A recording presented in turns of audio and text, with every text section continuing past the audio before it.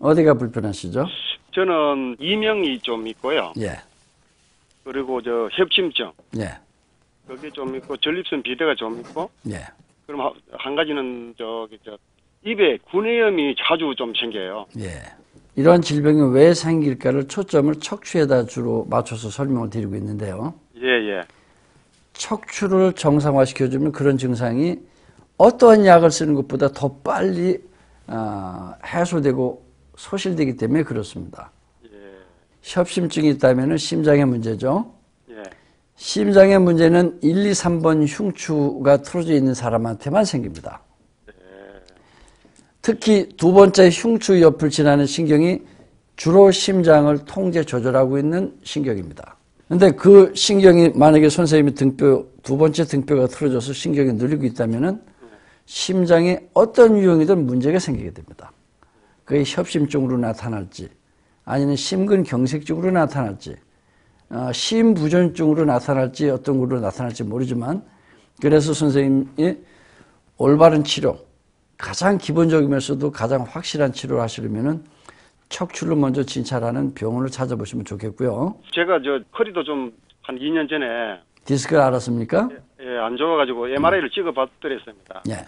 MRI를 찍어보니까 어 협, 이 협착증이 조금 있긴 하지만은 뭐 수술할 정도는 아니다 이렇게 해서 괜찮아요 지금 허리는. 통증을 다른 데서 보상하고 있으니까 불편 증상이 없을, 없는 것 뿐이고 예. 이명증도 목뼈 1, 2번과 관련됩니다.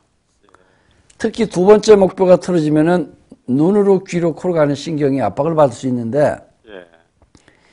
두 번째 이 목뼈가 틀어지더라도 틀어져서 옆에 지나는 신경 혈관이 압박을 받더라도 어, 눈으로 가는 신경이 눌린 사람은 주로 안과에 여러 가지 다양한 질병이 생기고 귀로 가는 신경이 눌린 사람은 이명이나 난청 또는 귀의 가려움증 어, 또는 귀의 통증 질환을 주로 유발합니다.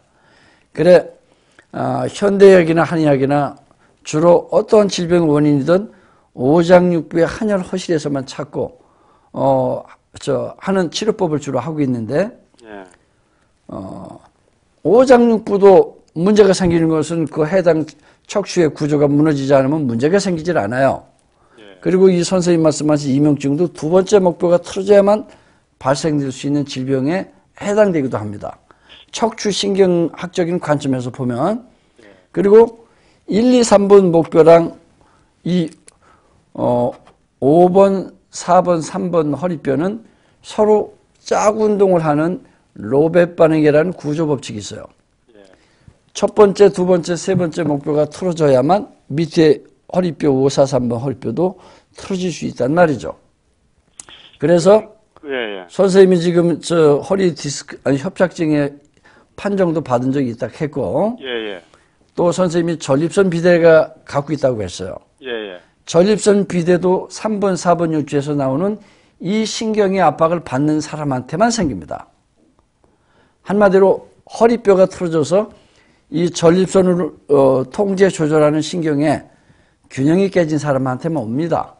그렇기 때문에 선생님이 허리뼈가 굳혀지려면은 목뼈가 굳혀져야 되고 목뼈가 굳혀지려면은 턱관절의 균형이 조절이 이루어져야 되기 때문에 가장 근본적인 치료를 하시길 원한다면 턱의 미세한 균형을 조절해서 전신 척추를 치료하는 FCST라는 어, 클리닉을 운영하는 양한방 또는 어, 치과 쪽에 어, 클리닉을 찾아보십시오. 해결이 되실 겁니다. 그 지, 지금 제가 그 저 말씀드린 증상 네 가지가 다 모든 게 다 다 척추에서 옵니다. 예, 척, 척추 턱관절에서 오는 겁니다. 그러면요.